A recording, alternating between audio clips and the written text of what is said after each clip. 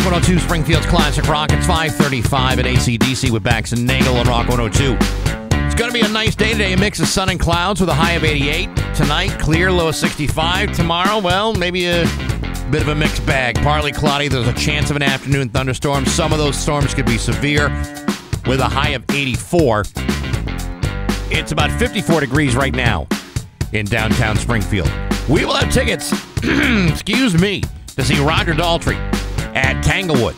Also, tickets to Face to Face, that uh, Elton John Billy Joel tribute. We'll have tickets for that too. And if you're going to be listening on the podcast later on today, uh, because you may have missed a part or what happened, uh, who, who knows? It's all brought to you by Marcotte Ford. They got your back for sales, service, parts, and rentals. Marcotte Ford in Holyoke. So much going on today, and we get right into it. Bax and Nagle on Rock 102. Summer is almost here, and Let's see. Marcotte Ford's got your back in sales, service, selection, basically everything. Oh, wait. Marcotte also has rentals. Say what? Yep, over 100 brand new models to choose from, including a brand new Mustang convertible that will really open some eyes. Rent them daily, weekly, weekend, monthly, whatever you need. Marcotte's hassle-free customer service team will get you into the perfect ride at a great rate. See more online, then visit Marcotte Ford in Holyoke and hit the road in confidence with the team that's got your back. When you need a rental, you need Marcotte Ford. I'm throwing a party to celebrate. Hey, it's Steve Nagle, and I want to. Rock 102 Springfield's Classic Rock. It's 552 and John Mellencamp with Bax and Nagle on Rock 102. It's going to be sunny today with a high of 86. Tomorrow, mix of sun and clouds, uh, perhaps a shower or two with a high of 82. It's 53 right now in downtown Springfield. Somehow you still care about what's happening in Hollywood. So, from Tinseltown, 3,000 miles away, it's Steve Nagle's Hollywood Trash. All right, and uh, we go to Taylor Swift this morning. Oh, good. Uh, you think it's easy to perform in front of thousands of people every night all over the world? No, of course it's not. It's not. Or should I say, it's not. It was around 50 degrees when Taylor Swift played Edinburgh, Scotland recently, and she had to fight through a runny nose. Unluckily for her, fans recorded her battle and plastered it all over the internet. Was she uh, dripping? Uh, in one video, Taylor wipes snot from her nose as she lowers her hand to her side. You can see it hanging from her fingers. In another, she wipes her nose, then runs her hand on her jumpsuit. It seems like she's trying to play it off as she's rubbing her hand seductively across her body. Well, I mean, if you're trying to demonstrate something, uh, that might be it. Yeah, you know, if uh, you rarely see a good performance that involves a snot bubble. Well, on the third clip, she has to lick it as it drips down while she's uh, singing at her piano. That's awesome. Yeah, yeah. A little Chopin, huh? Look what you made me do. yes, look what you made me goo. Some people are calling it gross and nasty, but others say it makes seem uh, Taylor seem more human. Listen, it, it happens. You know, I think I've been on stage before where it's your nose starts to run Mm-hmm. because it's like, you know, your your adrenaline is going and, and your and your and your heartbeat's racing and Right. all that stuff. So that you know, And I hate to break it to you people. I'm sure at some point in her life, Taylor Swift has eaten a booger.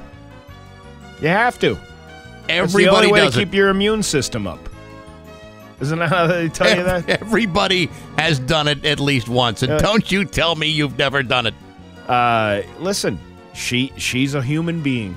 Of course she is, just Or- like you or me. Or maybe she she, just- maybe she's not. Maybe she's a robot. I and don't that think was so. just oil leaking from her face. it was you like know, it was like uh, like a WD forty spill. Yeah. Uh, didn't I just say to you yesterday we don't do enough stories about Andrew McCarthy? We don't do enough stories about Andrew McCarthy. Andrew McCarthy's documentary about the Brat Pack in the 80s hits Hulu today. It's called Brats. Uh, Andrew wore, here's some highlights. Andrew wore a wig in the final scene of Pretty in Pink. The ending had to be reshot to show him getting with Molly Ringwald, but he had already cut his hair for the next role. About that. Huh? I'll be damned. That's interesting. Uh, Demi Moore had a sober coach on the set of St. Elmo's Fire. A sober coach. Yeah. Well, who was the drinking coach? That's what I wanted to know. Uh, Molly didn't participate in the documentary because she'd rather keep looking forward. Molly Ringwald. Yeah, Yeah. yeah. she was in a she was in one of those Skinamax films, like in the '90s, where she bears it all. Get out of here. Yeah, Not all. Do you have She the exact the title of this uh, of this film? No, I do remember though. It's like because I, re- I remember some plot lines fr- from my from my younger days when I was watching uh, these movies during puberty. Right. Uh, it was a ba- he was like a baseball player and he was Ah. and he had a girlfriend, but Molly Ringwald really wanted him, and then she like tricks him into doing a one tricks him into doing a one night stand. Right. And then, uh, and it- but she's like, she's bearing it all on the top, and then she becomes a psycho, and she wants to kill him. See, I thought the uh, the softcore porn film that she did was this uh, this movie that was about all these kids that have to serve a detention on a Saturday, and she's with all these kids like at the school Yeah, library. there, there was no porn in that. I saw that documentary. Are you sure? Yeah, yeah. I could have sworn there was something. And the principal was a real uh, hard ass. Yeah, yeah, yeah. Yeah, I remember that. Maybe the only exposed boob there was Judd Hirsch.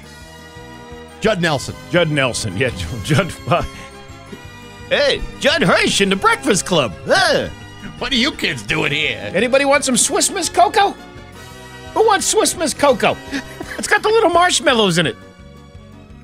I knew it was one Judd. Judd Hirsch. That's actually really funny to think that he would be in that movie. He plays a young Emilio Estevez. That's right. We taped that kid up with medical tape. Then we ripped it off his body. Who wants who, who wants some Swiss Miss Cocoa? You want some Swiss Miss Cocoa? And Danny DeVito is the uh, is the detention monitor. Yeah. Hey!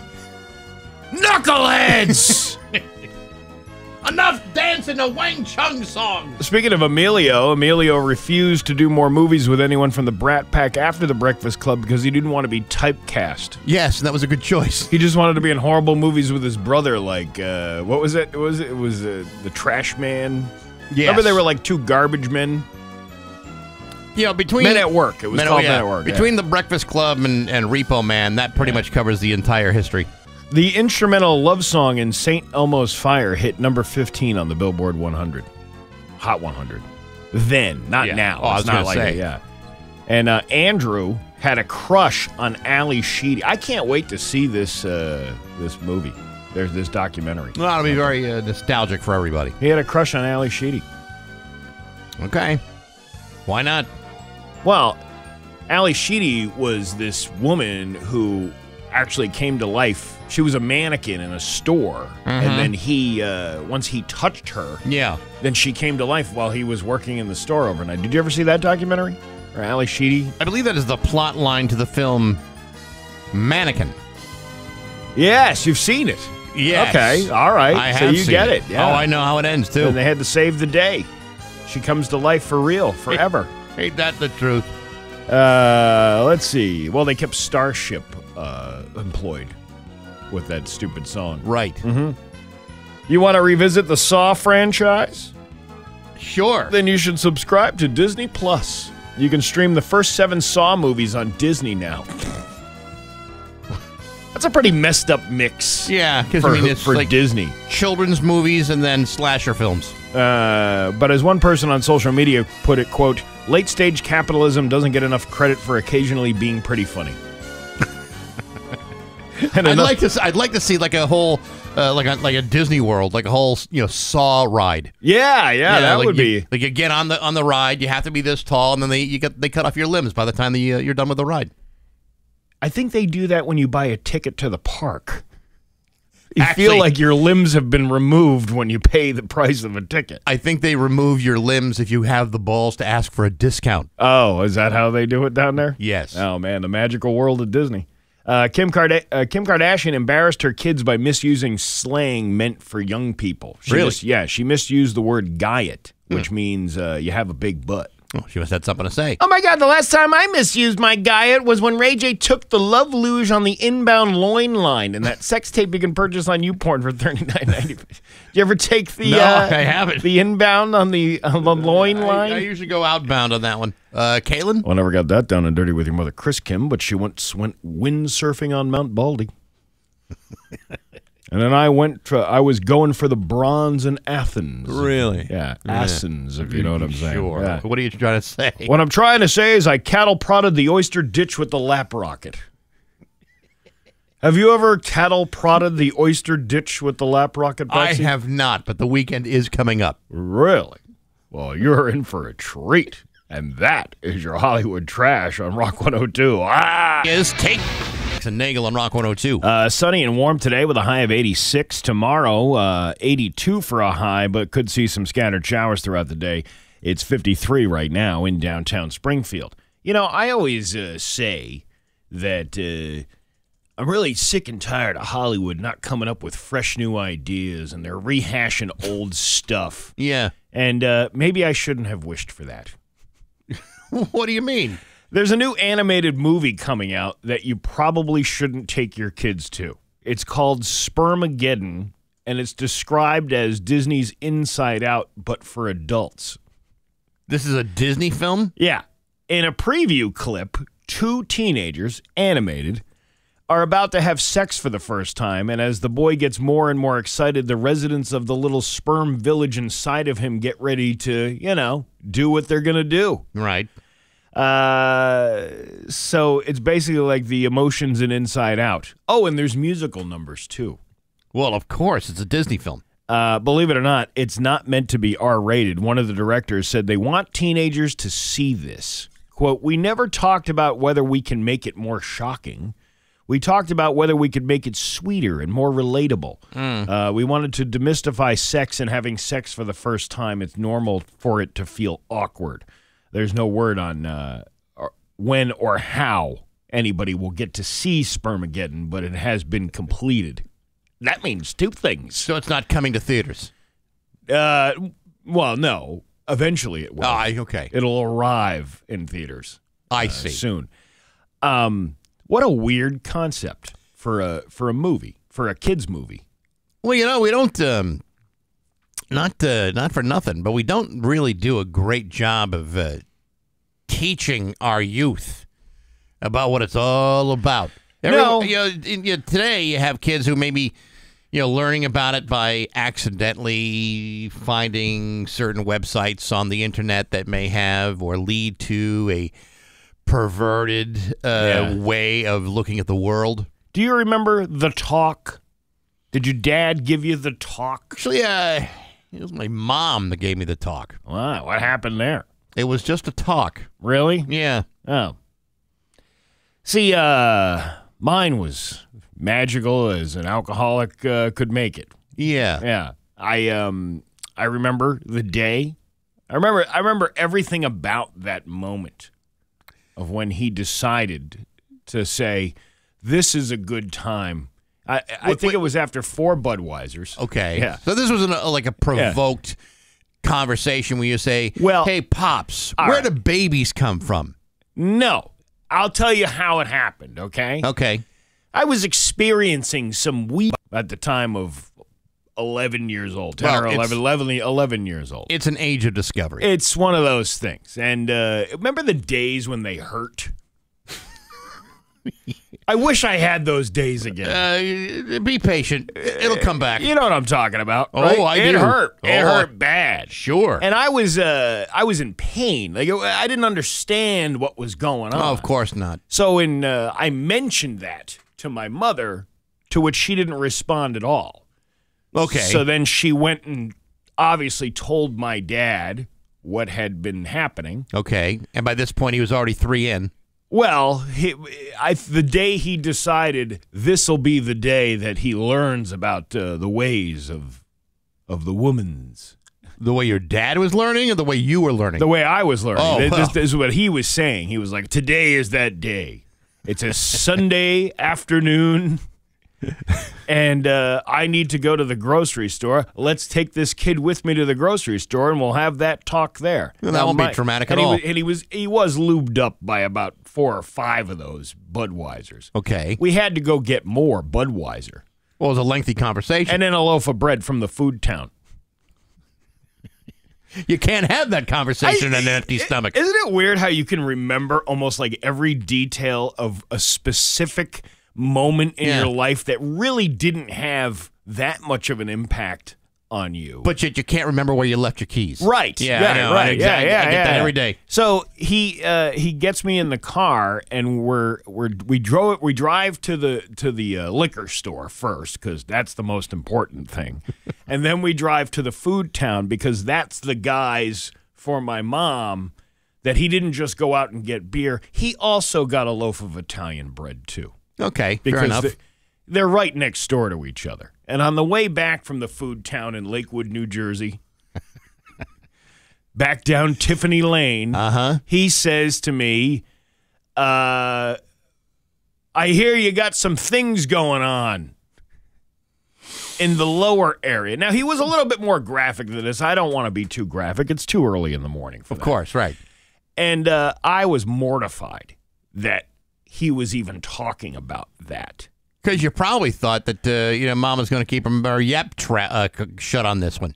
Well, I didn't. Again, I didn't know what was happening to me. She was the nurse. I figured if she's seen anything, she was an ER nurse. She's seen it all. Sure. she's seen people doing things to themselves that they should have never have been doing. and uh, so he's like giving me this talk, but he's like he's drunk. He's really drunk Yeah. Okay. while he's driving his 11 year old son back to the house. So how did he, he, did he, uh, did he describe it to you? He uh, he said, uh, I don't even know if I can say this, but uh, he basically described it in the most scientific way.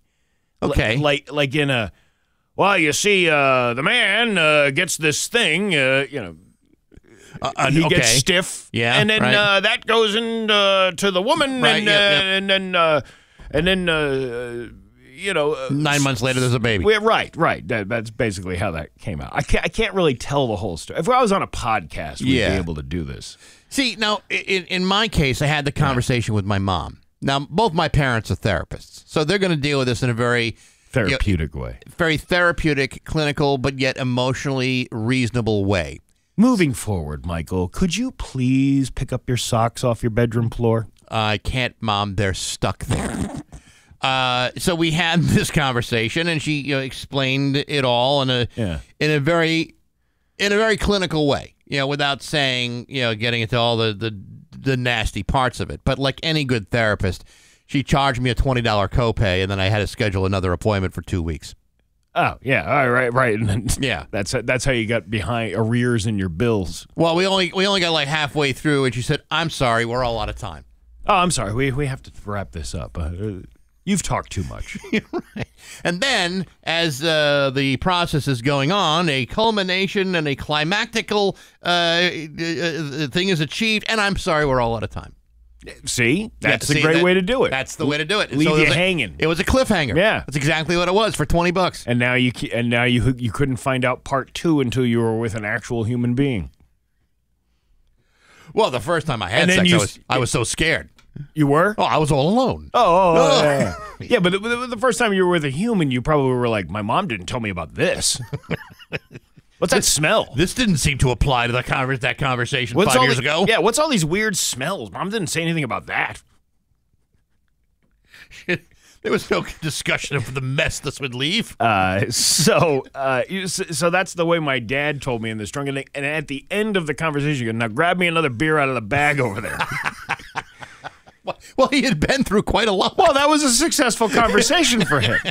You know, he had to he had to get the confidence by greasing himself up with at least four beers before we left, and then had to have like this relief sigh of relief beer afterwards. Well, it was a real come down for him. oh yes, it Oh, was. I don't even know what it meant. It's 624 on Rock 102. Dunkin' has just released a new energy drink called Spark. It's 627 with Bax and Nagle on Rock 102. Dan Brown has the full forecast for you. Uh, this week in Baxi's musical podcast, my guest is Chris Stein from Blondie. Uh, you know, everyone thinks of Blondie as just being Debbie Harry.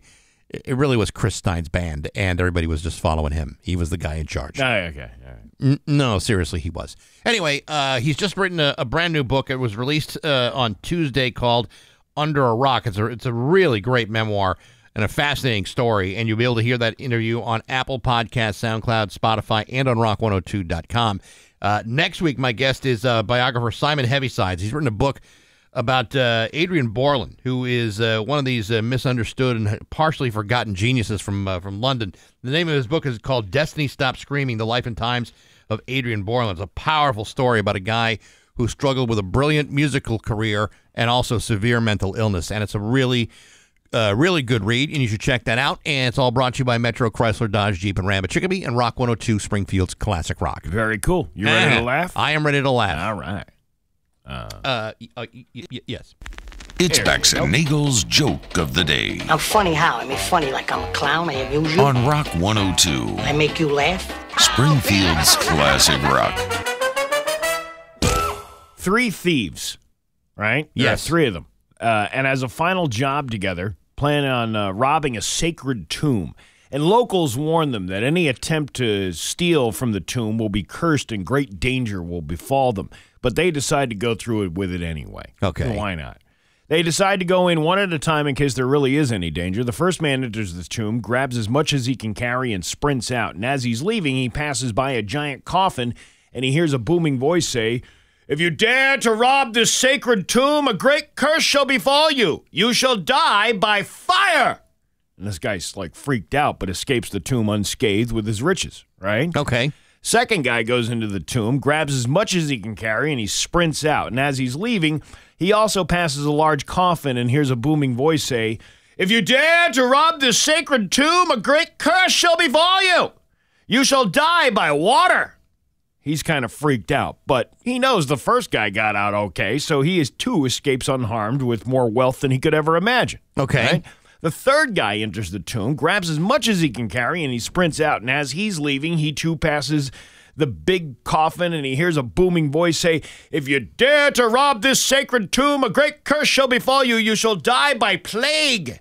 Plague. Yes. And at this point, the thieves aren't scared anymore because pfft, they've all managed to get out with all the riches. So the third guy just walks out of the tomb. He just, uh, his arms full of the spoils of his plunder.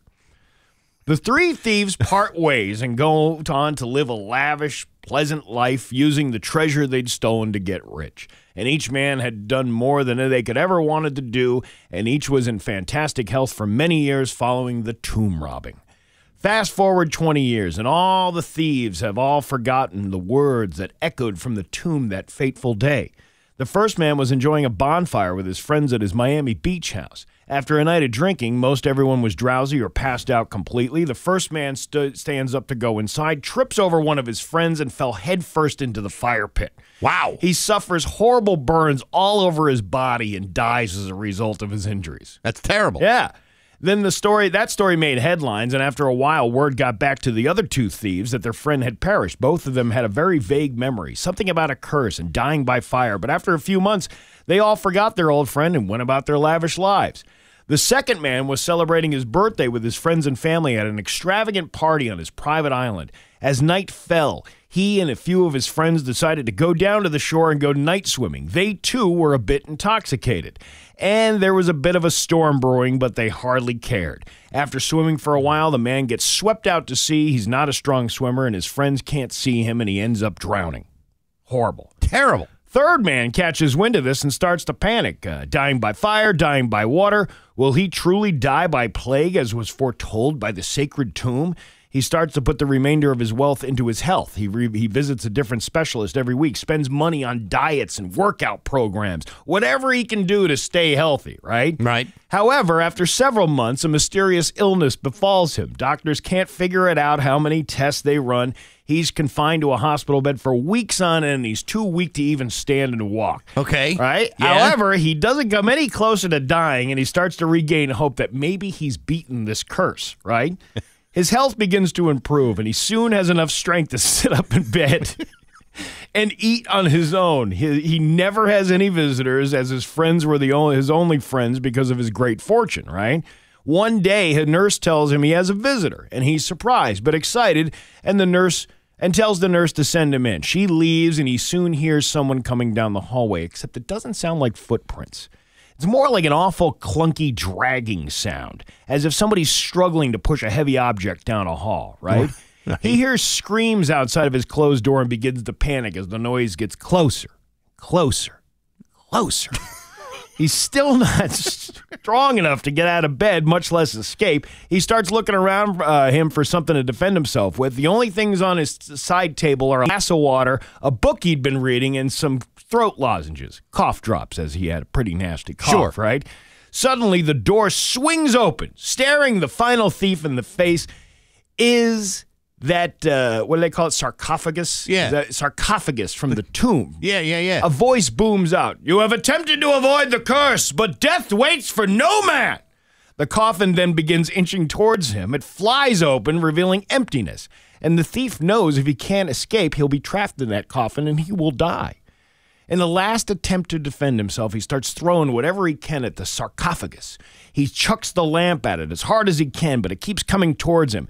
Then he tries the book. That doesn't work. The glass of water, nothing. The magazines, useless. Finally, all that's left of the cough drops. The man all but resigns himself to his fate, picks up the lozenges, closes his eyes, hurls a cough drop. The moment the cough drop hits it, the coffin stops. because it's a coffin. It's a coffin. It's a coffin, and the coffin. coffin. is no longer coffin ah! because he threw perfect. Uh, a thing. Oh yeah. I think I might have to lengthen that a little bit to get the more detail in there. Bax and Nagle in the morning on Rock 102, Springfield's classic rock. Here's your Western Mass News first alert. 638, we're back some Nagle and Rock 102. It's time for news brought to you by Gary Rome Hyundai. Technicians get up to a $5,000 sign-in bonus right now. Learn more at GaryRomeHyundai.com slash family. Here's local radio icon Steve Nagle. Thanks, Bax. A chase involving a stolen vehicle ended with the arrest of four teenagers and left one police officer injured in Springfield on Tuesday morning. According to Ryan Walsh, at approximately 10:15 a.m., officers were called to the area of Bay and Dartmouth streets for a gun call, stating that an occupant of a Kia was pointing a shotgun out of the window. Shortly after police received the call, officers located the suspected vehicle on State Street and observed an occupant pointing a gun out the window. When officers attempted to stop the vehicle, it sped off recklessly, eventually losing sight of officers. A detective later spotted the vehicle near Catherine Street and tried to stop it. The driver continued at high speeds through a construction zone, causing an officer working the detail to jump out of the way to avoid being hit. The chase continued to St. James Avenue, where the officer saw the vehicle stop and its four occupants exit before noticing a police cruiser and getting back into the car. Wow. The- School's out, kids! yeah, no, no, that's not the way school should end. The uh, vehicle continued speeding down St. James Avenue and was later spotted by an officer on Carew Street. The suspected vehicle sideswiped the officer's cruiser, causing the car to roll over before landing on its wheels. All four occupants then attempted to run away on foot. When the 22 News crew arrived, that's when things took a turn for the good. no. That's that's when this crime was solved.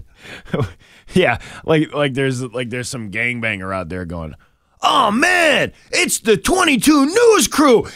Get out of here before they describe us all inaccurately." Yeah, that one guy had a tattoo of a teardrop on his face. It was crazy. I sure hope they don't give any uh, you know, updates after the fact. My mom had a Kia. Didn't do anything like that. I sure hope they don't update anybody with any information. So when the 22 News crew arrived, multiple police cars surrounded the area and invo- and the vehicles involved were being towed away. 22 News Oh, we missed it. Oh, man. Why couldn't you have the action when we were here? Wouldn't it be crazy? I mean, I'm going on a way out on a limb here, but wouldn't it be crazy if you found out after the fact that this high-speed chase was stopped by none other than Brian Lapis? Lapis gets out of the 22 news news truck. He flashes those big muscular calves, and all of a sudden the car spins wildly out of control. Actually, he- and it's Lapis that saves the day. Actually, he puts his calf out and trips the car. That's how it rolled over. Yeah, it rolls over very, Right. very uh, like a like a team like. And then the uh, the news crew spoke with an eyewitness about what he saw. Ah, What'd you see? And he says, "Oh, I saw police coming from the opposite way, and the stolen car was going this way. His car crashed either." E- his car crashed each other opposite way, and the stolen car went into the air and flipped four times. end quote. That's crazy. Yeah, I don't know. I still like the idea of Lapis uh, putting this thing to an end. Yeah, I think uh, him and uh, Strep Strep Throat. Could do that. I see strep throat, uh, you know, walking out with a with a cape, like a, like a super, like an SM super meteorologist, and he just you know barges right out of there and and stops it with his bare hands. Starts doing Doppler uh, spells and Right. and uh, doing uh, wizardry. Does the whole thing before a green screen. Yeah, yeah, uh, a- a- and successfully rounds up all the criminals. See, I can see it, totally see it. The driver was arrested on the 1200 block of Carew Street, while the other three occupants were caught on Fordham Street. The officer whose cruiser was struck was injured and is currently being evaluated in a nearby hospital. The vehicle was reported stolen, and I'm sure that officer is okay now. Two days later, this is Let's why hope so. updates are important. It would be nice to Yeah. know the uh, the officer is in good health. The uh, vehicle was reported stolen, and the driver was identified as a 16 year old boy. The passengers included a 16 year old girl and two 15 year old boys. Due to their ages, their names and booking photos are not being released, and officers weren't able to immediately locate the firearm. The incident remains under investigation by the Springfield police. Now, was the uh, driver uh, a licensed driver in this situation? I don't think so. Or was he still waiting to take his road test? Uh, I believe he had just passed the permit. Test. Are you sure? Yeah. So has he gone on his on roads yet? Because you know they'll they'll screw you insurance if you don't take those things. Well, he failed this lesson. Yeah, I Yeah. think so. Uh, a moment in time Pats fans will remember forever. Tom Brady has been inducted into the Patriots Hall of Fame. What a delight to watch that only on a cell phone. Fans were there all afternoon yesterday, excited to see the surefire first ballot Hall of Famer get inducted into the Patriots Hall of Fame. 22 News was there on the red carpet to catch all the action. Uh, according to NBC Boston, the induction was chosen to be on Wednesday because of the two numbers that are most associated with Brady, which are his six Super Bowl champions and his uniform number 12. So they did it June 12th. About that. Yeah. You see who else was there last night? Who? Serving as like a like an announcer MC ish kind of thing? No. Fitzy. Really? Yes. Oh, see, How he- about that? He deserves to be that. I'll uh, tell you what, that youngster has really turned things around in his He, life. he might go somewhere with that career that he's got. Fans tailgating the special event, such as uh, Troy Burke from Arizona, uh, has told 22 News I took a red eye flight this morning from Arizona. I'm tailgating with the Silver Bullet. It's going to be an unbelievable night. Lots of celebrities, all the fans, former players. I already met Ty Law and got his signature. This will be the biggest Brady event until he goes to Canton. It's right. Who wants to do nose beers before the big show? Mister, I've been up all night on the plane. Yeah. I just flew in from Arizona, and boy, are my arms tired. you see? The uh, night started with the red carpet full of his uh, former teammates, friends, and family members. Brady's career spanned, uh, uh, spanned 20 seasons with the New England Patriots, where he led the team to six Super Bowl champs, 17 A- AFC titles, 219 regular season wins. Yeah, yeah, yeah. We know who he is. Robert Kraft waived the uh, usual four year waiting period typically required before inducting players into the Patriots Hall of Fame for the three time MVP. Several former teammates, such as Julian Edelman, Randy Moss, Rob Gronkowski, uh, Devin McCourty, and more, also attended the ceremony. Wednesday night ceremony was held inside Gillette under the uh, Super Bowl banners that Brady brought to New England. Nah, that's great. Yeah, That's great. it's a good time. It's too bad it wasn't uh, televised on actual television. It was only being streamed, but ah, what are you going to do? Why wasn't it? Well, I guess that's a regionalized thing. I guess It's it's right? a yeah, it's a regional thing, but you know, I mean, it was it was just exclusive to Patriots.com, which I thought was you know like yeah, other people would like to have seen. You know, maybe they're going to go back and and trim it down, kind of like they did with the uh, the, the Tom Brady roast. Was it free to stream? You didn't have to pay for it, did you? No, no, no, we we no, we didn't pay, but it was like I would kind of like to have uh, seen that before the Celtics game began. I don't blame you. You know? I don't know, but I watched it on a five inch screen. It was disappointing. Well, you're used to five inches. Oh, really? Yeah, really. well, okay. 5.25. okay, sure. Yeah, yeah, all right. Yeah, I'll give you an extra quarter. Yeah, thanks. I'm being generous. That's for sure. Uh, your Pioneer Valley forecast today. It is going to be sunny with a high of 86. Tomorrow, mix of sun and clouds, perhaps a shower or two with a high of 82. It's 53 right now in downtown Springfield. I'm Steve Nagle, and that's the news on Rock 102. Ah, yeah. The Rock 102 Golf Club is available now at rock102.com. Presented by Bax's View from the Couch. Brought to you by Rocky's Ace Hardware. Your grilling destination. Weber, Big Green Egg, Ooni Pizza Ovens, and Traeger Wood Fired Grills. Hey, good morning, sports fans. How the heck are you? Well, folks, I can't speak for everybody, but it sure would have been nice to watch that Tom Brady retirement party last night on something larger than my phone. I mean, I suppose I could have driven to Foxborough watched everything play out on that gigantic video screen in the end zone, but I chose to stay home and watch some of the events on a largely obsolete iPhone device, which is no longer supported at the Genius Bar. Nevertheless, Tom Brady is now a member of the New England Patriots Football Hall of Fame, and he's also been the last guy to ever be allowed to wear a number 12 Patriots jersey since that has now been officially retired. Of course, everybody was out there Mr. Kraft, Bill Belichick, more than 100 former teammates, Drew Bledsoe, John Bon Jovi, the guy that won tickets from Rock 102, Fitzy from TownieNews.com, and of course, Tom Brady himself was also there. You know who wasn't there? a camera crew that might have been able to air the ceremony live at a local television station. Instead, the ceremonies are being streamed exclusively on the Patriots website, which is fine if your internet provider is providing you with swiftly running service and if you are watching it on something slightly larger than a 5-inch screen that you are holding in your hand. But hey, why be why be bitter? I mean, it was a day for Tom Brady, and for me the greatest highlight came when Tom Brady turned to Bill Belichick and said, Quote, it wasn't me, it wasn't you, it was us. Let me be crystal clear. There is no coach in the world that I would rather play for than Bill Belichick. Isn't that nice? There's no other coach you'd rather play with than Bill Belichick. Unless you happen to be Bruce Arians of the Tampa Bay Buccaneers and you can win another Super Bowl. But then after that, all bets are off. But again, why split hairs? Tom Brady is now a member of the Patriots Football Hall of Fame, and nobody else can wear his shirt. And whether you were in the stands or fighting traffic or struggling to watch it on your phone, it was a very special night all around. And really, isn't that what truly matters? I suppose it is. But hey, enough of my yapping. Sports brought to you by Rocky's Ace Hardware. You know, you got an Ego mower and an Ego string, uh, string trimmer. They they use the same battery. It fits them both. Ego battery powered outdoor equipment from Rocky's. Mowers, blowers, trimmers, outdoor power without the noise without the hassle of gasoline. Go Ego with Rocky's Ace Hardware. I'm back. That's my view from the couch. Rock 102. Rock 102, Springfield's Classic Rock. It's 710 and Billy Squier with Bax and Nagle on Rock 102. Going to be a really nice day today and warm, sunny and a high of 86. Tomorrow, mix of sun and clouds. Uh, could see a scattered shower or two with a high of 82. It's 53 right now in downtown Springfield. You're going to get a chance to win tickets to see Roger Daltrey a little bit later on uh, this hour. So make sure you're listening for that. He's going to be uh, coming to Tanglewood, and we'll give you all the details about that show. You know, I've been uh, I've been watching a lot of TikToks as I do every day. That's where you get the news. It's true. And uh, this uh, this Karen Reed case, have you have you followed anything about this? A little bit.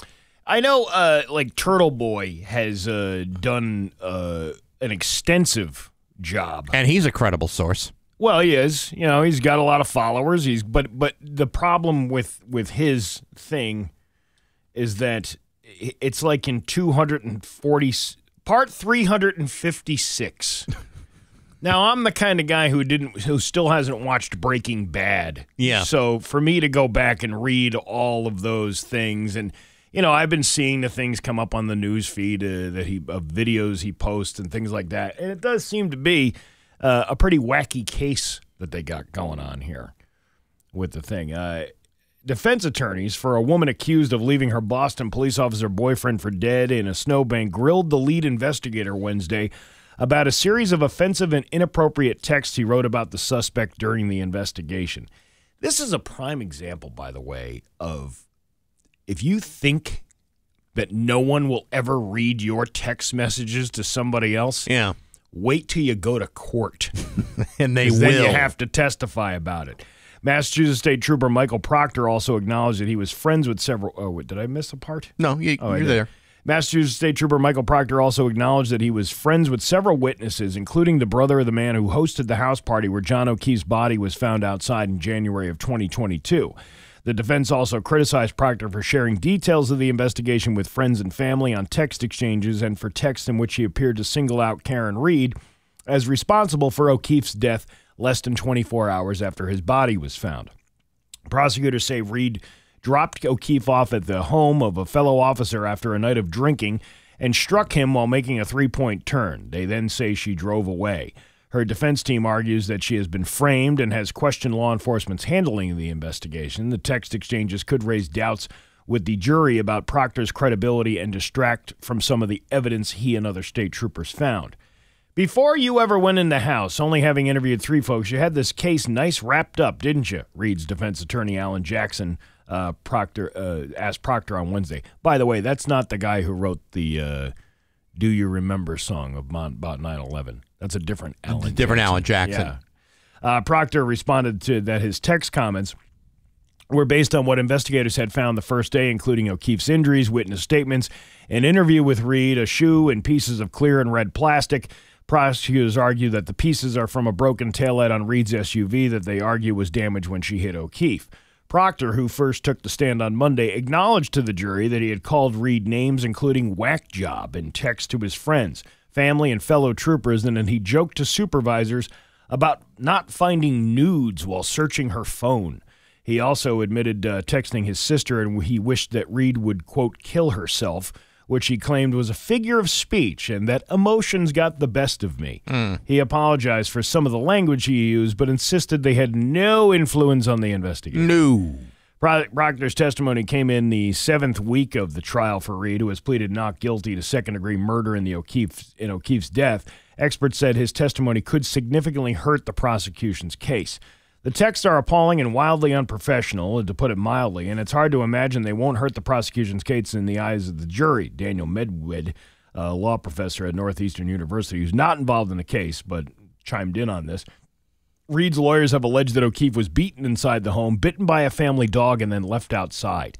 They have portrayed the investigation as shoddy and undermined by the relationship investigators had with law enforcement agents at the house party.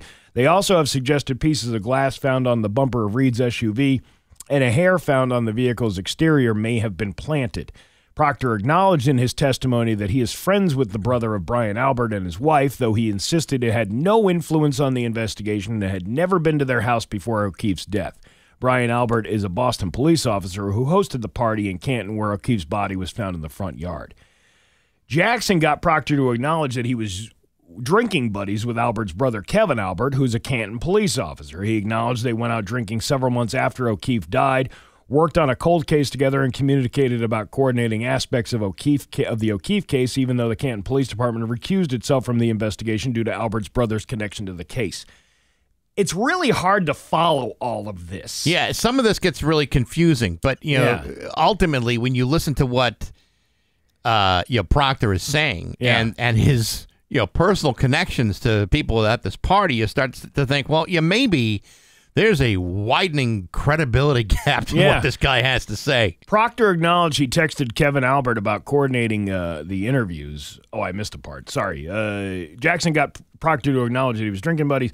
Uh, you knew that he, above everybody else, should be completely removed from any contact with the investigation or the investigators, Jackson asked Proctor.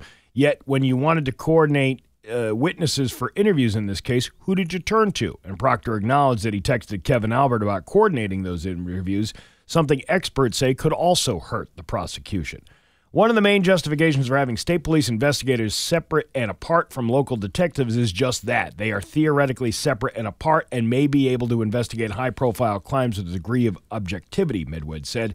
The friendship between Proctor and the Albert family does create the appearance of a problem. You think? You know, but the more I read about all of this wacky stuff going on, that it just has become clear to me that it's just a bunch of drunks.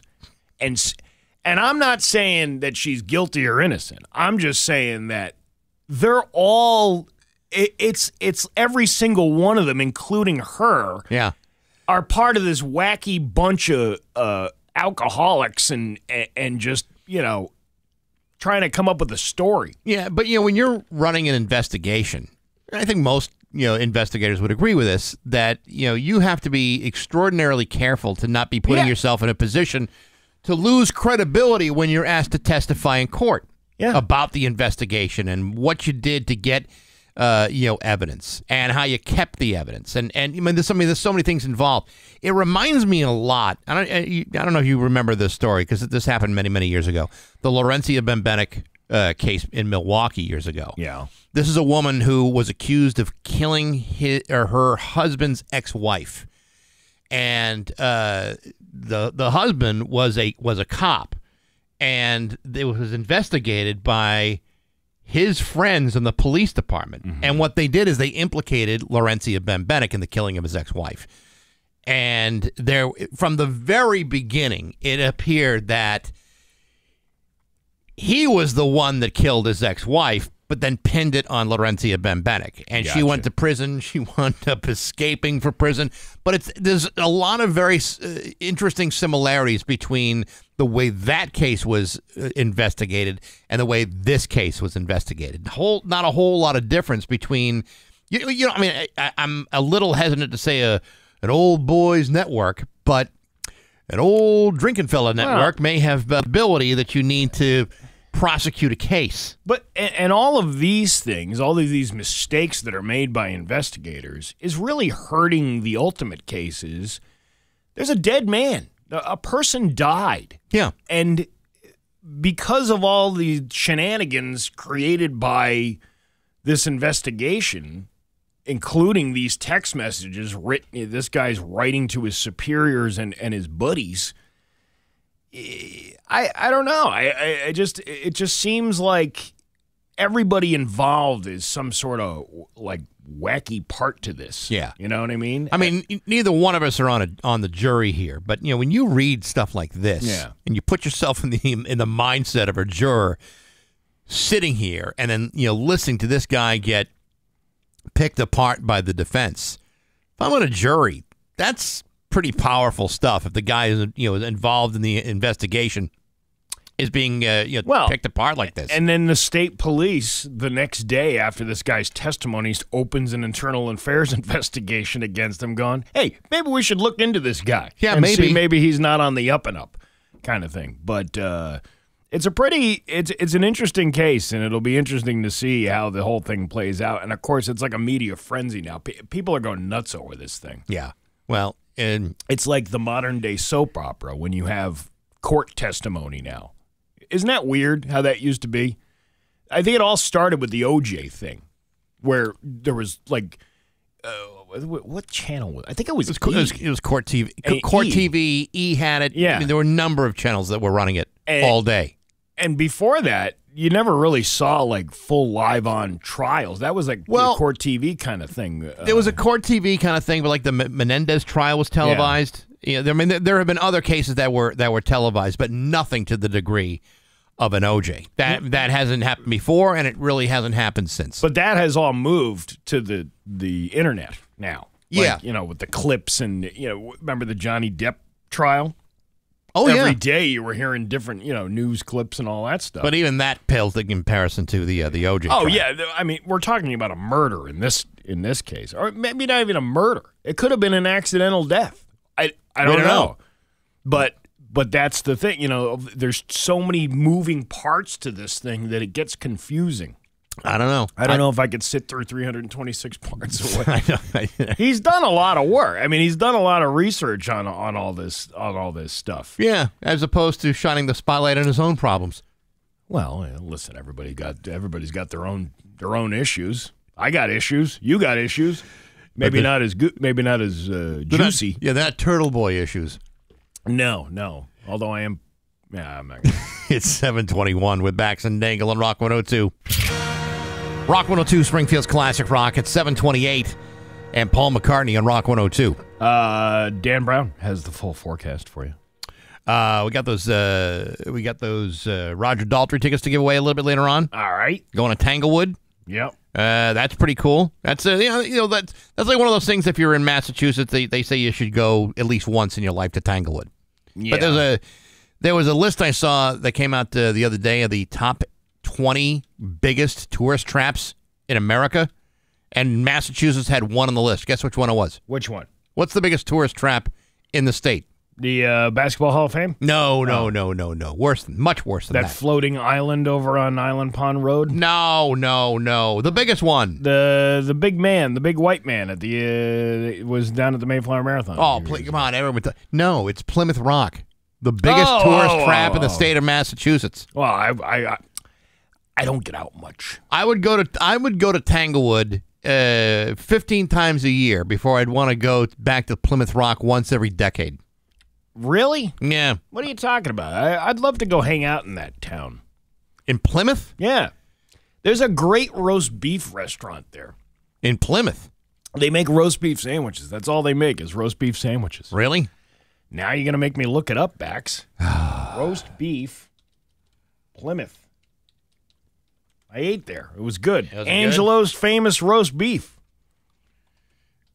And, and, and number one on the South Shore, baby. Really? Yeah, You get it uh, the the roast beef the three way. You can get the uh, the three way. Oh, that's good. man. Yeah. that's that's really good with the gravy and the melted cheese Oh and everything. yeah, Oh, dude. Yeah, yeah. The au jus. oh, that's awesome. That's when you sneeze on the sandwich and say au jus. God bless you. God bless you. Gesundheit. Yeah, yeah, there you. Yeah, that's good. I, I, I'll head out to Plymouth. Yeah. I'll go see that rock if I can eat a good roast beef sandwich. I would skip the rock and go right to the roast beef. To be honest with you, having seen the the rock and going, where's the rest of it? Uh, I'd rather just go right to the uh, the the roast beef place. Speaking of uh, good food, we went to uh, we went to Great Horse last night. It was a fancy little affair for the uh, the Springfield Thunderbirds. Yeah, and uh, going to Great Horse. Whew, what a dump that place is, huh? Uh, no, actually, it's quite uh, spectacular in every possible way, shape, and form. Oh yeah. Oh, I go up there. They got all this bougie stuff and this beautiful view of the entire Pioneer Valley. Mm-hmm. And uh, oh man, that place that place will close up before you know it. No, actually, I don't think it will. It's expanding every single year and getting I- larger and larger. I, I'm completely joking. It's actually one of the nicest places I've ever been to. No, it Yeah, it, uh, yeah. it it is, and yet I you know, I have uh, I have it's been a while since I've uh, mentioned this, but uh, you know I have been uh, a- suggesting for quite a long time uh, that I would make an excellent member of uh, of Great Horse, and I would be more than happy to accept a complimentary lifetime membership. I mean, it's very close to my house. Uh, I think I'd make a wonderful member. I'd be like a like a Walmart greeter of that place. For some reason, I picture you at that place as like a, a cousin Eddie showing up at the pool with all the families around, Mm-hmm. trying to enjoy a nice afternoon, and you've got uh, you've got flippers on, and you've Yeah. Mm. got uh, scuba gear, like you're gonna go into the pool. I I, I picture. Slamming back natty daddies before you get to the pool. Steve, I'm a lot more sophisticated than I think you realize. You think so? No, not No, really. not but I'm really. just saying that because I still want the complimentary lifetime membership. Don't you live a stone's throw away from that place? Uh, it would have to be a very light stone, but yes, Yeah. Uh, uh, live within within a, a, reasonable distance. That was- Somebody said, "Well, why, why don't you why don't you just walk here?" I'm like, "I'm not gonna walk up those hills." That's that's got to be uh, torture for you. What to drive by it that every day? place every day and say, you know what, I'll never be good enough to to make it to that club. You know, I was good enough to play at the old Hampden Country Club. Oh, that was oh, you, you know I what? was I was I was within that uh, within that Yeah. time you know that time and space. I can't believe they redesigned that beautiful building. No, I think what they did uh, it was ultimately uh, so much more spectacular than anyone could ever possibly dream of. But yet, I still see no complimentary. The uh, where was the historical commission uh, saving Hampden Country Club from being renovated into this bougie place? I don't believe that. I don't believe that was offered as a possibility. Where were the protesters going? Hell no! Keep Hampden Country Club. We love this place. They have uh, they have turned that uh, whole parcel of land around. Yeah. They truly have. Well, I don't know. The way it looked up there last night, I can't see it being open too much longer. Okay, Yeah, sure. yeah. I think they'll be around for a bit. It's 7:34. News is next to Rock 102. Here's your Western Mass News First Alert. Inventory online at FordNorthampton.net. 737 with Bax and Nagle on Rock 102. It's time for news. It's brought to you by Aquatique Pools. Maintain your pool all summer long with state of the art water testing. Stop by their showroom at 730 Union Street in West Springfield. Here's local radio icon Steve Nagle. Thanks, Bax. Western Mass News has learned about a terrifying situation that unfolded last Friday at a middle school in Holyoke with concerns that a student had a gun. The incident took place at the Clayre P. Sullivan Middle School on Friday during the school's field day. We're told it was pure panic and chaos when, when, when students heard one of their peers had a gun and police responded to the scene. The parents we spoke to, we spoke with, told us their children are now traumatized by what they saw. Western Mass News spoke with the mother of a sixth grader who attends the middle school. Uh, she's uh, said that she was at work on Friday when all of a sudden she started getting a text message from her son saying there had been an incident and that he's very scared and needs her to come get him right away. The parent said, uh, I called him immediately, and that's when he told me he had witnessed a student being chased and then tased to the ground. That made him very scared because he wasn't sure what was being pulled for the taser. He had no idea until he saw the kid fall to the ground. After that phone call, it was radio silence. She said the school was put on lockdown and she was unable to get any calls into the school. The phone lines weren't working. Each number just kept repeating and repeating and repeating, and I wasn't able to come get him because the school was on lockdown because most of the parents were calling the school. That's probably what plugged up the lines because this Right. is probably uh, in the only one. That would also explain why you're just hearing about this on a, the Thurs the following Thursday. As uh, anyone who has lived or traveled on Jarvis Avenue in Holyoke knows, the area where Sullivan is located is full of cellular dead zones, including inside of the school. So when the kids were brought into the building, they were no longer able to contact their parents to let them know they were okay. The mother expressed her concern, saying, I understand they need to have all the information first, but this situation was so different than any other minor lockdown they've had. Once the teachers who were in the rooms with these kids saw them on their phones, somebody should have realized, hey, a robo email, a robo text, a robo call needs to go out to every uh, everybody with a little information. That It's- does go a long way. I got to tell you, it's hard to disagree with that. You You know, know- if, you, if it's if it's if it's your kid in that school, and you can and you're not be able to find out any information, uh, that's uh, that's uh, more than annoying. Uh, they reached out to Holyoke Public Schools for comment, and the statement that was provided was the phone lines at Sullivan School remained open all day Friday. School staff responded to calls from family members throughout the afternoon. There's no truth to the allegation that someone from Sullivan School turned off the phone line to prevent calls from coming in. It's possible that call volumes made it impossible, like I just said. Yeah. Uh, you know, too many people calling. Families were advised via emails on Friday and Monday that their and their children could seek support from school counselors. In addition, Sullivan School also sent teams of counselors and administrators to classrooms on Friday and again on Tuesday to check in with the students. Counseling support remains available for any students or families who request it from the office. No gun was found, and no tasers were used. So is this all a big uh, hoax? I don't know what happened. Here, here's the problem: when you have a bunch of kids, Yeah, you know how it was on the schoolyard. Sure. Uh, the telephone game, the rumor thing. Uh, Oh, I know. You're witnessing people running around. So you tend to either make your own conclusion or you're discussing with other people who have come up with different conclusions as to what just happened. And that's how the story gets out of, uh, you know, misconstrued. I don't know what happened here. They, that's the other thing. They haven't said what exactly happened. And again, it's almost a week. It's it's six days later, and you don't have any answers. And we're probably not going to. Probably not. Uh, three high school staff members from Barnstable may lose their jobs after two students were left behind during a field trip. Womp, Oh womp. no! The Barnstable School Committee is considering a recommendation to fire Alec and Hope Taylor and Rafaela Almeida. All three high school staff members have been on administrative leave since April, shortly after they took 22 students to a, a Belle of the Ball event in Boston. The uh, nonprofit provides free prom dresses and accessories to students in needs. When the bus left to head back to Barnstable, some 70 miles away, two students were left behind. Workers at the event ended up driving the students home. After an investigation, the district superintendent recommended the Taylors and Almeida be fired. However, uh, community members have rallied around the educators and pushed to save their jobs, saying this is a teaching moment. Well, Aaron- he- here's my question: Why were they left behind? that's what I'm trying to find out. I mean, were these, were these, were, was everybody told, "Hey, be by the buses at a certain time," and for whatever reason, these two kids didn't? Uh, I don't know. It doesn't even say why they were left behind. Uh, but the people are rallying around them, and the Taylor's daughter says her parents have taken responsibility for what happened and deserve a second chance. The superintendent says a resolution to the incident will come, but it will take time. I know you don't want to leave any child behind. I totally understand that.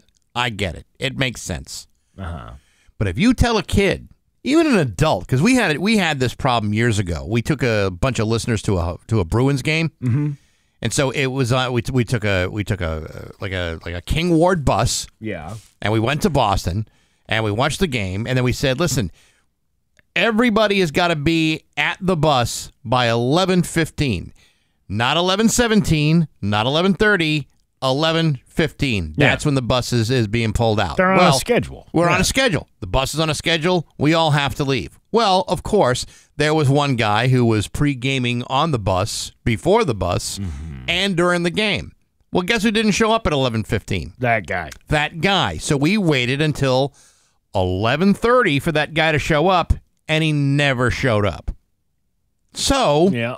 ipso fatso, we buzzed right out of there because it wasn't like it wasn't clear to everybody when to show up. So now you wonder, well, would this have the same was could this have been the same issue here in uh, in, uh, in in Boston with these kids? Could Tell you, if you're not going to be by the bus by a certain time, this is what happens. Well, I mean, you're talking about an adult. These are children. These are, you know, whether they're teenagers or not, uh, that should be more responsible in finding out where they need to be at a certain time. Buses wait for no one tardy. Well, that's what I'm saying. And uh, there was a time where I went on a bus trip down to the old Yankee Stadium, and we went to one of the last. A friend and I went uh, signed up for this bus trip, and it was the one of the last games at the old Yankee Stadium. Right. I think it was the last game, and it wound up getting rained out. It was against the Tampa Bay Rays. Mm-hmm. Didn't really matter. We all get to the stadium. We're walking around, waiting for the because game's now delayed because of the rain. Eventually, it gets canceled, but we're all walking around uh, looking at things. And then uh, they decide, well, the game's canceled. We got to get back on the bus. It was kind of a big pain in the butt because you get all the way down there and then you got to drive three hours back and you didn't even see anything. Right. And then they're waiting, and then uh, they're waiting maybe like 10 or 15 minutes. And we're like, whoa, what's going on? Well, we're waiting for this guy. Well, somebody comes out and goes, yeah, he got arrested. Uh, he was trying to steal like a piece of piping, like a like a pipe cover Okay. from Yankee Stadium, so he would have that A memento. his- a, a memento, if you will. Well, he got he got arrested. The bus, sorry, see ya. We're leaving. We got to go back. All these Yeah. people have nothing to do with you, and all their cars are waiting in the parking lot. well, what could possibly go wrong with uh, someone who has been abandoned in the Bronx? no, nothing's ever happened.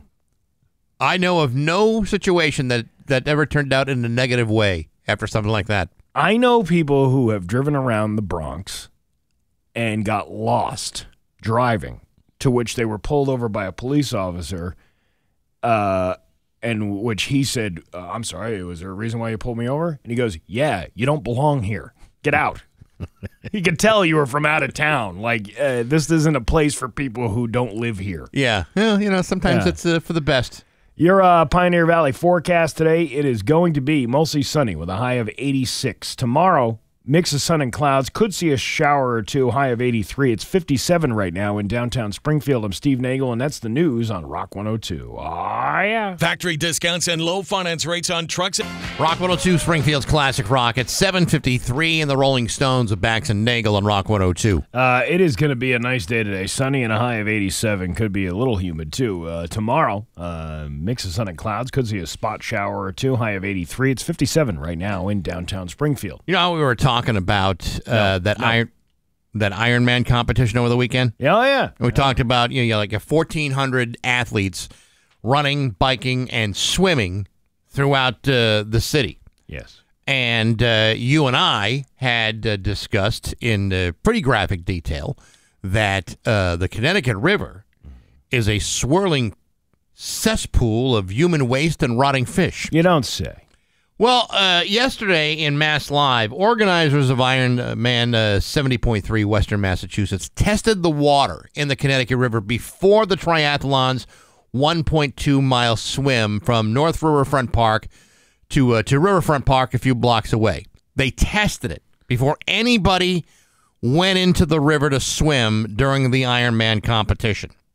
And what they said was that the samples that were collected were found to be well beneath both Ironman and state requirements. That is what Ah. the Ironman said that uh, no amount of human waste is too much human waste for the Ironman. Oh, really? Yes, these are acceptable levels of human waste and rotting fish. Now, would any of them uh, dip a cup in there and uh, perhaps drink a glass of water? That is not what it is How, saying. how confident are they that it's not contaminated?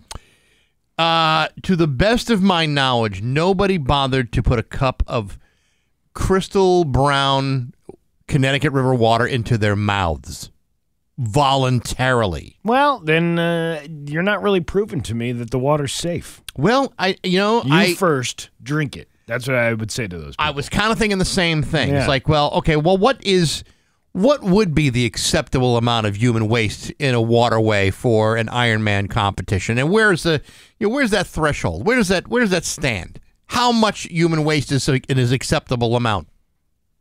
I don't know. That is a good question, though. That's like a good threshold. Yeah, I mean, it's not like you're cannonballing into the collecting vats at Bondi's Island. You know, you're not doing that. Although But the you're con- close. Uh, but you're not that far away. Yeah, yeah, I mean, yeah. there's, there's there's a lot going on in that river. And I just I just wondering, you you know, what the you know what is that line that says today is a good day to swim as opposed to today is a toxic day to swim? well, you got to have poo flags up.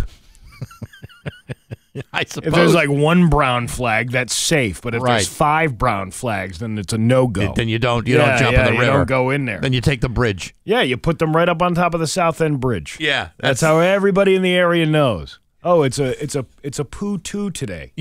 we can't have you swim in this, but we will have you zip line under the Memorial Bridge. yeah, exactly. Uh, hey, Roger Daltrey is going to be at Tanglewood on June 22nd. That's going to be a hell of a show with his very special guest, KT Tunstall.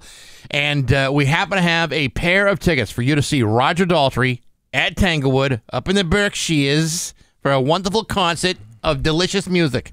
Why are you talking it like that? Because I just like saying it like that. Anyway, uh, 10th caller right now at 293 1021. Good luck to you. Maybe you'll be a big fat winner. Maybe you'll even see James Taylor in the Oh, crowd. I don't. Uh, I don't Oh, he lives right around the corner there. True, but I don't know if he just uh, just you know pops up and shows up at Tanglewood without demanding to get on the stage. What, if you were James Taylor, wouldn't you be like talking to every uh, artist that comes through there? Just like walking over in your backyard. I- I'd say you're, uh, you know, you're you're doing James Taylor stuff, like playing croquet in your backyard. Because Yeah, but maybe that's the kind of James- thing I, I would think James Taylor would do. But maybe James Taylor is just like one of these guys that you know just likes to like a nice quiet day at the coffee shop.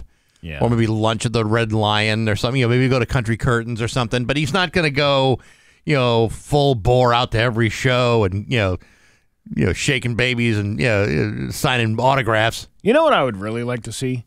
What? James Taylor go into Lee to Route 102 Liquors and buy himself a nice big fat King Cobra and just drink it on the lawn of Tanglewood.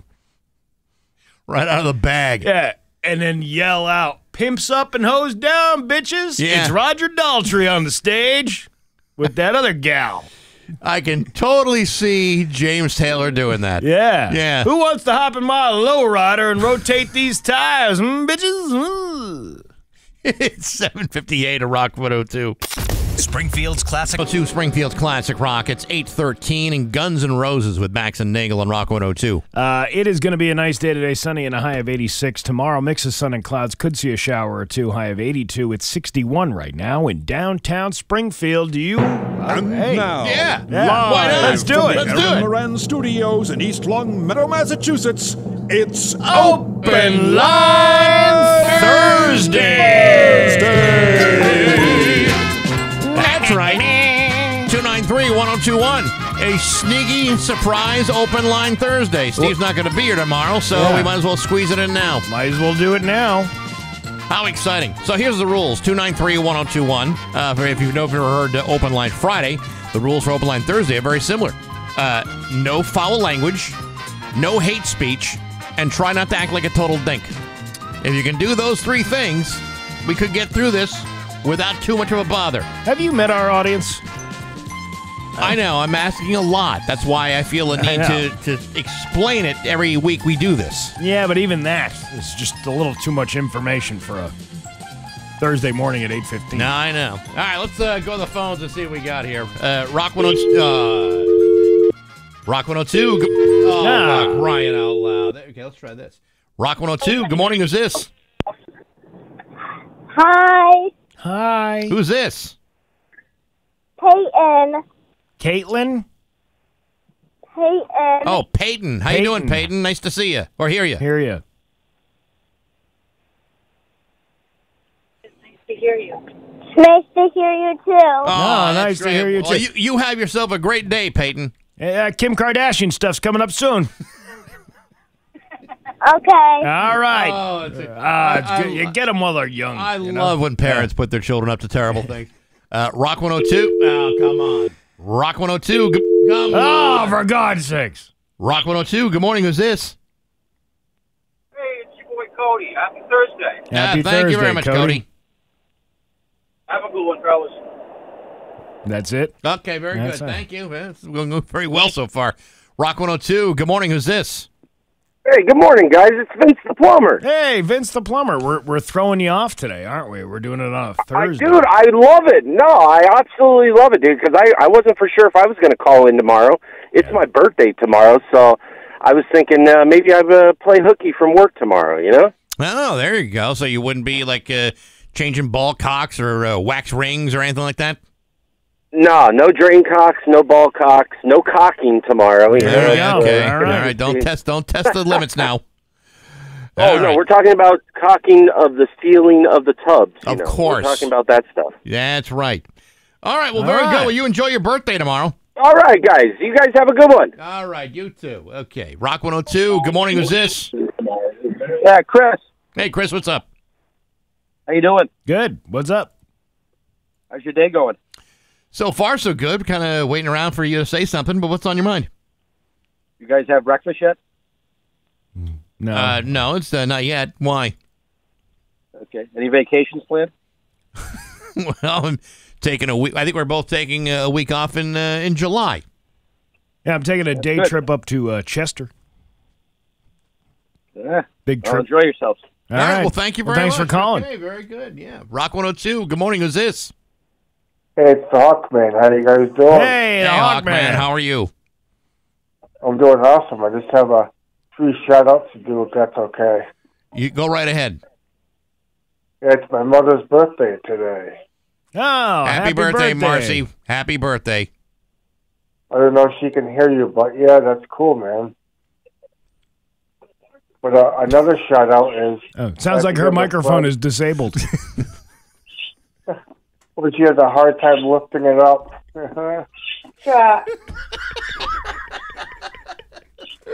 That's cr- that's terrible. That's terrible. All right. Well, uh, so go ahead. What what's what what now? I have another shout out to my friend Kathy, no, Caitlin, who works at Bay State Wing Hospital. She works in the radiology department, and she did a great job taking care of the Hawkman. All right. Well, good. I'm glad you're. Hope you're okay. I don't know. I had a CAT scan to see if I'm going to get more diamond kidney stones. So, oh. All right. Well, Well, hopefully. hopefully you don't. hey, you guys want to buy my kidney stones? No, No, no, I'm- I'm not really. set there, no, bud. we're all set. All right. All right, guys, take care. All right. Good talk. Okay, good talk, Good, bud. good, Good talking talk, to you. good talk. Ro- Uh, Rock 102. Good morning. Who's this? Hey, it's uh, it's the Big R here. Hey, what's up? Long time listener, first time caller. Oh, very good. Welcome aboard. Yeah, my grandpa put me onto you guys, and ah, loved it ever since. Oh God! You thanks for making us feel old. Ah, How old are you? Say, I'm like 24. Oh, 24. And your grandpa put you onto the show, huh? No, I'm really 13. That was a lie. Oh, All okay. right, All right. that Very makes more good. sense. What can you do? Hey, I just want to say, uh, you guys really brighten my day uh, every morning on my way to school. Awesome. All right, cool. Glad we can help. Where you go? Where you go to school? Um, around. Around, yeah, there you yeah, go. yeah. All All right. right. Well, you have yourself a good week. All right. Uh, Rock 102. Rock 102. Good morning. Who's this? Hey, good morning. How you guys doing today? Uh, good. Good. Why do you sound like you're calling from a McDonald's speaker? Uh, I'm on my car phone Bluetooth. Oh, ah, okay. yeah, All right, okay. all right. Yeah, yeah. So what's on your mind today? Yeah, newly newly retired. I'm enjoying retired life. Oh. 34 years as a Teamster. Do you have a T-shirt that says uh, "I may be retired, but I'm still full time pain in the ass"? Absolutely. Yeah, there you go. So you were a Teamster. Yeah, 34 years. Nice. Congratulations. Yeah, yeah. So fif- 59 and retired. You know. Beautiful. Good for you. You get Yeah, that? You get that yeah. uh, Jimmy Hoffa weight chain and weight. Uh, absolutely. I even know where the body is. Oh, uh, that's there what they. you go. That's what they. Don't. Whatever you do, don't get into the maroon car. No, no, no. I won't. I won't. All right. Definitely, definitely not. You know. Well, So, enj- uh, well, enjoy- listen. I haven't. I haven't. I haven't listened to you guys in a while, so I'm uh, a little bit behind on this. How is John O'Brien doing? I guess he's doing all right. Uh, wow, you've really been living under a rock, haven't you? I yeah. Well, I I don't. Uh, I'm in areas a lot of times that um, that uh, I don't get Rock 102. So Gotcha. that's- that's gotcha. why. But You know, now that you're retired, what- you'll hear all the time. Yeah. Right. Right. Right. Right. So All right. so he's doing all right, or you know? yeah, yeah. As far as I know. Okay. Well, that's that's good to know. That's good to know. All right. Well, you All guys enjoy. You guys enjoy your day, and uh, I'll talk to you guys later. Take All care. right. Bye. Sounds good. All right. Let's try at least Wow. uh, one more here, uh, please. Uh, Rock 102. Good morning. Who's this? Hey, this is Jerry from uh, uh, Enfield. Hey, Harold, uh, I got a couple of uh, jokes for you. Okay, Are, Jerry. are, are they Are they clean? Uh, I, I, I think so. They, they don't have any. They don't have any uh, vulgar words in them, right? No. no. All right. All right. Okay. Well, all right. lay- Let's lay take on your us. best shot at it. Let's go. All right. Well, the first one is uh, why did the chicken cross the road? Why did the chicken cross the road? To get to the gay guy's house. Okay. You know what? That's enough. All right, that's that's enough. I, I, I already I already dumped that one as uh, very good. What, what's up with Thursday? I don't know. There's take something. another one. Take one more One- uh, before we get off Okay. this. Uh, uh, see if we can redeem ourselves here. Uh, Rock 102. Good morning. Who's this? Good morning. It's uh, Nick from Agawam. What's Hi, up, Nick, Nick? from Agawam. Question. Um, you guys were just talking about Joey Chestnut the other day, Yes. and uh, so I just I just was watching one of my favorite shows, The Amazing Race, and uh, he's he's on a couple, I think two episodes or two seasons.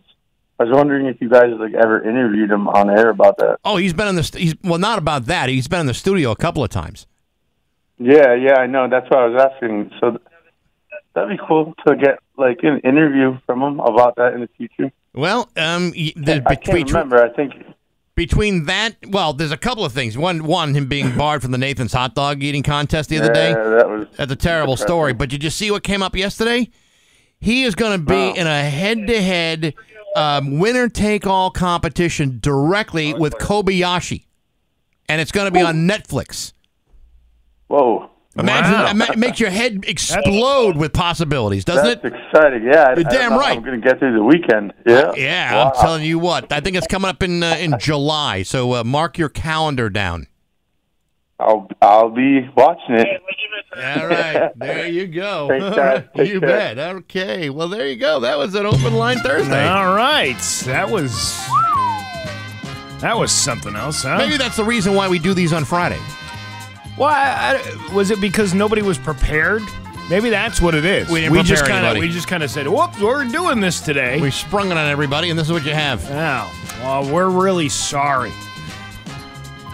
It's eight. Really sorry. It's eight twenty-four on Rock One Hundred Two. Graduations, parties, wed. It's uh, eight twenty-eight with Bax and Nagle on Rock One Hundred Two. Uh, Dan Brown has the full forecast. Again, I I'm really sorry. we keep getting these texts. WTF? You guys should do more open line often twice a week, Tuesday and Friday. Yeah. Yeah. Well, what are you gonna do? And uh, what's wrong with these? And then you know a, a, a term to describe people. Uh, we can't control who calls in. No, we we really can't, and uh, and these things have uh, you know sometimes gone well, and Yeah. sometimes it doesn't. That's that's the beauty of open lines. It's so dangerous. What do you want? A professional radio show with a producer? okay, not at this one- place. You ain't don't. getting one here. Not at this place. Hell's no. It's uh, eight twenty nine. We got news next to Rock one hundred two. Here's your Western Mass News first. 833 with Bax and Nagle and Rock 102. It's time for news brought to you by Gary Rome Hyundai. Technicians get up to a $5,000 sign-in bonus right now. Learn more at GaryRomeHyundai.com slash family. His local. Thanks, Bax. A chase involving a stolen vehicle ended with the arrest of four teenagers and left one police officer injured in Springfield on Tuesday morning. According to Ryan Walsh, at approximately 10:15 a.m., officers were called to the area of Bay and Dartmouth streets for a gun call, stating that an occupant of a Kia was pointing a shotgun out of the window. Shortly after police received the call, officers located the suspected vehicle on State Street and observed an occupant pointing a gun out the window. When officers attempted to stop the vehicle, it sped off recklessly, eventually losing sight of the officers. Uh, a detective later spotted the vehicle near Catherine Street and tried to stop it. The driver continued at high rates of speed through a construction zone, causing an officer working the detail to jump out of the way to avoid being hit. The chase continued onto St. James Avenue, where the officer saw the vehicle stop and its four occupants exit before noticing a police cruiser and getting back into the car. The vehicle continued speeding down St. James Avenue and was later spotted by an officer on Carew Street. The suspected vehicle sideswiped the officer's cruiser, causing the car to roll over before landing on its wheels. Try explaining that to your insurance agent. And then uh, four homeless guys holding up signs with eights and tens. Oh, he nailed that landing. Yeah, Look the, at that. The Russian judge was so harsh. Yeah. Oh, eight. Eight. I give that no more than a six. You know, of all the many stupid things I've done in my life, Mm-hmm. and there have been many, I've never done something this stupid. Stolen a car. You signed a contract to work here. Even that, I would argue, is not nearly as stupid as what just went on yesterday on Bay Street. I mean, Uh, stealing a car, yeah. hitting a cruiser, flipping it over, and then running away. You know, th- there's just so many dumb things a part of that whole experience that I can never actually say I have dabbled in that much stupidity in a single 24 hour span. I have. I worked with Dave Coombs. Even that. No, no. I think that's that. the lowest I could go. Now, I, I Yeah. know, I know, I, I hear you, but believe me when I tell you, you're you're not even you're not even in the same ballpark as these four idiots. Listen, if somebody said to me, "Would you like to uh, steal a car and send yourself on a police chase throughout the city of Springfield, uh, endangering the lives of many people, or hang out for four hours in a studio with Dave Coombs?" I will be going to jail for the rest of my life. I can understand why Yeah. that may seem like you're doing hard Yeah. time. Right, Yeah, right. but that's not the way it goes. When the uh, 22 news crew arrived, multiple police cars surrounded the area and the vehicles involved were being towed away. Well, that was a pretty good observation. Yeah. Ah, the car was up on the flatbed. It was crazy. 22 News spoke with an eyewitness about what he saw. I saw police coming from the opposite way, and this stolen car was going this way. Remember, it's like the uh, the scarecrow in the Wizard of Oz. Yeah. Some idiots go this way. Yeah. Others go this way. Some and I'm the one who doesn't have a brain. And some people without brains do an awful lot of talking. uh, that was from Ganesh Reddy. His uh, his car crashed each other opposite way, and stolen car went into air and flipped four times. That makes sense. I don't know if that's a typo or they were actually quoting the person that they were interviewing. Well, usually if you're quoting somebody and there's a missing word or something that's indecipherable, it's usually something in parentheses that you just add like, you know, articles or, you know, connecting words. They they, they write sic. Yes. S I C. Yes, right. To to replace the word that was meant to be said, right? Isn't Yeah. that what sick means? I'm going to guess this was a total uh, a matter of omission. Of course, the 22 News crew. It's just sick. S I C K. Man, that story's sick. Look at that car. Landed on all fours after tumbling. Sick. Sick, dude. Sick. Yes, it is. It is sick. The uh, vehicle was reported stolen, and the driver was identified as a 16 year old boy. The uh, passengers included a 16 year old girl and two 15 year old boys. Due to their ages, their names and booking photos are not being released.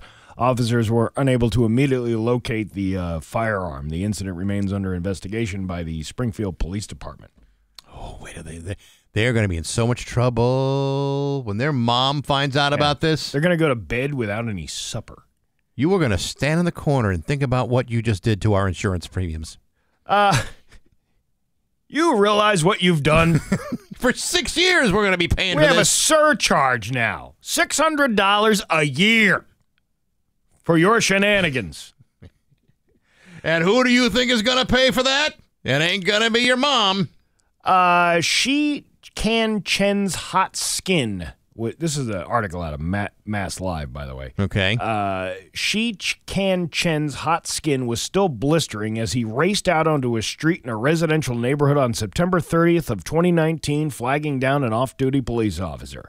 As he testified this week in Hampden Superior Court against three men, he says broke into a house that served as an illegal marijuana grow operation. Chen broke down when he asked to lift his shirt and to show his still mottled skin to a jury. He told detectives a group of men broke into the home he had grew he had set up as a grow house with four dozen plants. Chen supposedly set up the operation to raise money for a high-end wedding for him and his longtime girlfriend. Oh, you know, listen, honey, I love you so much. Uh, I know you really want this fairy tale wedding. Let me just get into the drug dealing business.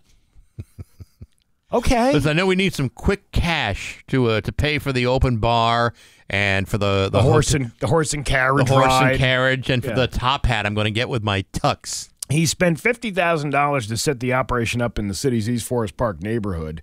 Uh, that went awry as he was zip tied, beaten, and burned with a hot machete and set on fire, according to prosecutors. Jesus. It was an hours long ordeal until Chen ultimately rammed a door and escaped.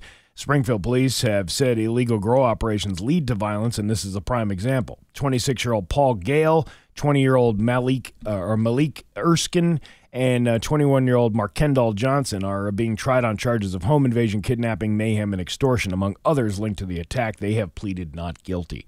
Uh, during closing arguments, Hampden DA Jeffrey Schlemmer told a jury that Chen spent 79 days at a Boston hospital's burn unit. During that time, he was forced to relearn how to walk, talk, and swallow. He remains disfigured. Jesus. Chen, a New York resident, was not expected to survive the three-hour attack in, inside an, an unassuming home at 620 Roosevelt Ave. Instead, he spent months in a burn unit at a rehab facility following the alleged ambush.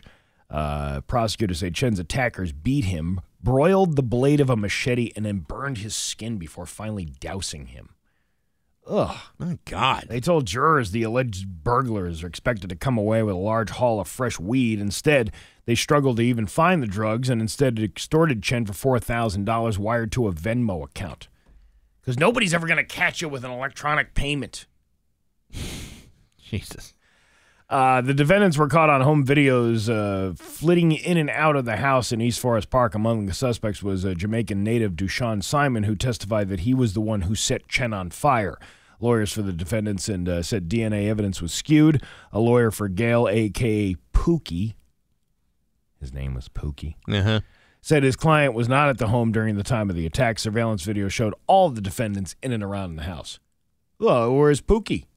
Oh, Pookie's not at this house. Well, he's right there on the video. That's just somebody that looks like Pookie. What a sick story this is. It's a horrible story. And uh, the jurors are going to deliberate that uh, later on this morning. Crazy. Chen testified under a grant of immunity. Simon fled to his uh, native Jamaica after the incident, returned three years later, and helped the prosecution. The jury will continue deliberating this morning. So, Um, I don't know if you saw this story. You haven't reported it yet. Uh, police officer Greg Bigda is back off the city payroll after a three to one vote by the uh, police commission early Wednesday evening. I didn't see that. Yes, commissioners voted by a majority to suspend Bigda without pay indefinitely.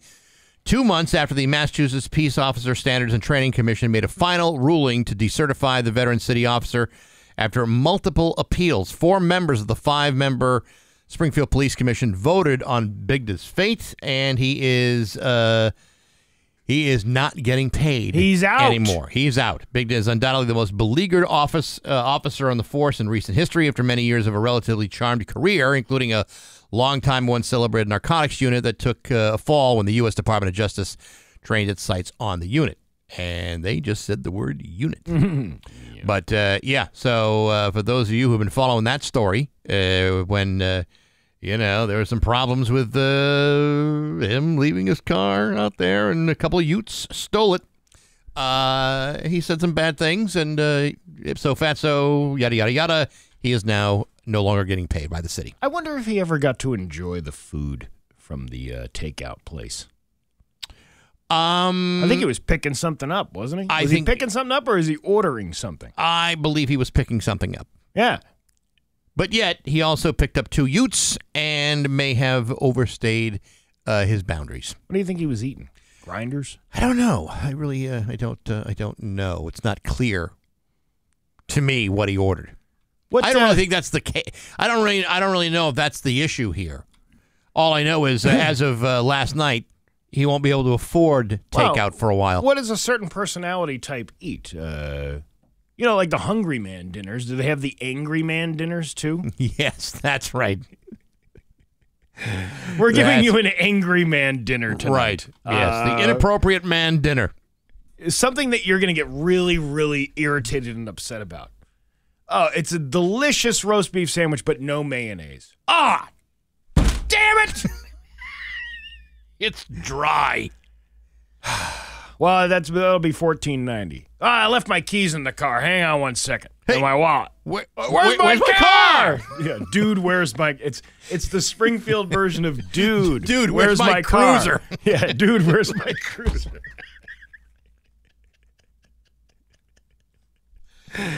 Your Pioneer Valley forecast today is going to be uh, sunny with a high of 86. Uh, tomorrow, mix of sun and clouds. Uh, could see a spot shower or two and a high of 83. It is 64 right now in downtown Springfield. I'm Steve Nagle, and that's the news on Rock 102. Oh, yeah. Rock 102 Springfield's Classic Rock. It's 852 and Van Halen with Bax and Nagle on Rock 102. Going to be a really nice day today. Sunny and warm, high of 86. Tomorrow, mix of sun and clouds. Could see a thunderstorm uh, perhaps in the afternoon with a high of 82. It's 65 right now in downtown Springfield. Did you uh, did you have a lemonade stand when you were a kid? No, I lived on a street where nobody ever passed by. Well, you know what? I wish somebody had taught me uh, to do that. I would maybe would have been a little bit better with finances throughout my life. Think of how you could have turned your life around if only you had any sort of business acumen. Well, I couldn't have turned my life around for anything. but anyway, uh, there is a Lemonade Day uh, coming up uh, in August uh, out in Palmer. And here in the studio with us this morning is uh, Julia Taylor and uh, Andrew St. George, who is the uh, Town of Palmer Recreation Director. Good morning. How are you? Good morning. Doing good. So, first of all, tell us what uh, what Lemonade Day is all about. Yeah, so basically Lemonade Day it's a it's an educational program designed to teach school-age children entrepreneurial skills. So, uh, they basically they get a curriculum, they learn how to budget for business, they learn how to handle the finances, and they learn how to actually, you know, kind of run a business from start to finish. Which I think is a great idea because they, they don't teach finance stuff to kids in school. I mean, eh, there's a, li- you know, I think my kids were about sixth grade when, when like a local bank finally came in and said, you know, you can, you can open up accounts and this is how you balance a, a bank book and all that stuff. But there's really that's not very widespread. So I think this is kind of helpful. I would think. You're right, and even where stuff like that exists, it's Yeah. I mean it's classroom, it's not real world. So this gives kids a chance to actually have hands-on and you know they're going to get those lessons. Country Bank is actually partnering with us to to teach these those kinds of lessons, the the uh, you know the financial literacy uh, to the kids. But again, it's a very big difference between learning it and doing it. So Right. we're giving them the chance to do it. This is uh, Julia Taylor and uh, Andrew St. George from uh, well, the town of Palmer Recreation Director. But you know, the uh, the Lemonade Day thing is actually something that's uh, that's national. It's all over the country. But this is this is specific for for folks in this area. Yeah, so there's actually uh, over 90 communities across the U.S. that that do this. Uh, we'll be the first one in New England, as far as we know, uh, but it's it's actually spread internationally as well. So Um, the intent is to have a successful Lemonade Day stand in Palmer this year, and then other communities around Western Mass and then hopefully Eastern Mass as well can take our blueprints and then do the same program in their town. But it's not about lemonade, right? Like, I mean, you could, uh, I mean, a kid could come up with a really great idea, like, and become the next Bill Gates, and all of a sudden that, Yeah. that came right out of Palmer. Yes. absolutely, yeah. Le- lemonade is the stepping stone, but sky's the limit, right? Right. Don't don't, don't put, project Well, I too mean, much. listen, for, you know, I mean, I mean, is it possible for like a 57 year old man to show up to learn a thing or two about business? Yes, you can totally come and volunteer. Um, you can be an investor to one of I the was thinking more of the student because I, I Sure. could learn a lot Yeah. with something Yep. like this. Yes, never Yeah. too old to learn. Although this program specifically would be geared towards school Oh, age yeah, kids. that's uh, I, that, that would that would give me an unfair advantage, right? Maybe.